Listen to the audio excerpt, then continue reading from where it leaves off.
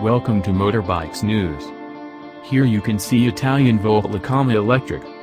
Italian electric motorcycle startup company Italian Volt has unveiled its first electric motorcycle the Lacama, a 250 kilograms, 70 kilowatts, 208 newton meters machine capable of 180 kilometers per hour with a range of 180 kilometers. A high-end build featuring Öhlins and Brembo components, each machine built can be customized into any style of machine, roadster, scrambler, cafe racer, or whatever else an owner desires.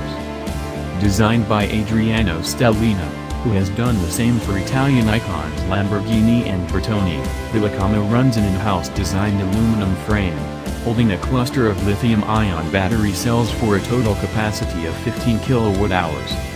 The electric motor feeds the back wheel via belt drive while all of the motorcycle's bodywork is 3D printed in-house. Please subscribe to our channel.